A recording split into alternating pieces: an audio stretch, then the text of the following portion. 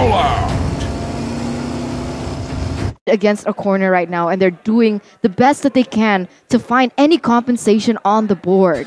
That is what happens when you know, RRQ has all the control in the world. On the esports, they don't have anything to threaten RRQ Hoshi with, and so Lemon, he can just make flashy plays like that and essentially take almost no punishment. Right now with the Lord coming in, Araki go for the final play.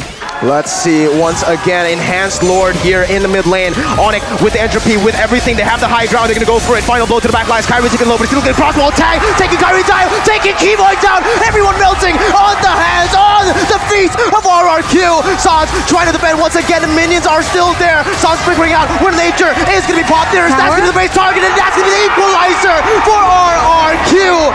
They come back, and it's an equalizer. It's game three in the Royal Derby.